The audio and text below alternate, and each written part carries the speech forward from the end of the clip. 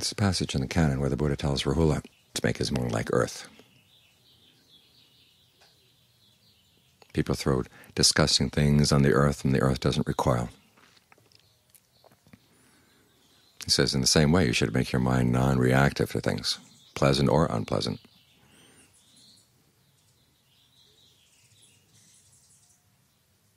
But it's interesting, he doesn't stop there. We're not here just for non-reactivity. We try to be as non-reactive as possible so we can see clearly what's actually going on. Because sometimes some really unpleasant things are happening. And the mind is weighing itself down with the, the pain. And you're not going to see the distinction between the outside pain and the pain that you're adding unless you're willing to sit with this kind of thing for a while, for a while, to notice what's actually happening. If anything negative comes up and you react immediately, you don't understand anything at all.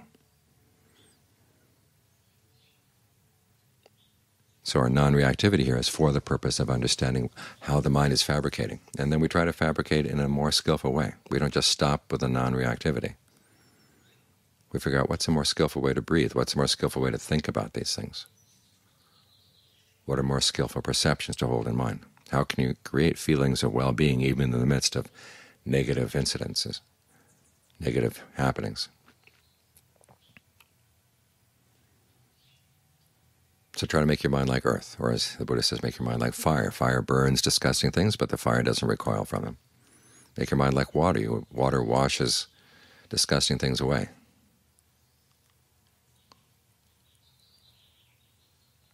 And yet it doesn't get disgusted by those things. The wind blows disgusting things around, but the wind itself isn't disgusted.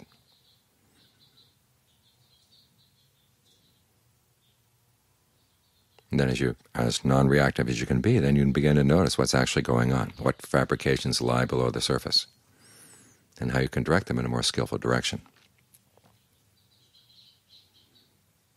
So you don't just stop by being still or stop by being accepting. You admit what's happening so that you can figure it out and learn how not to suffer from it. That's the point where the practice gets really special. If the practice is simply a matter of endurance or patience or acceptance, as they often say in Thailand, even water buffaloes are very accepting of things. But I haven't seen any water buffaloes get enlightened any time recently.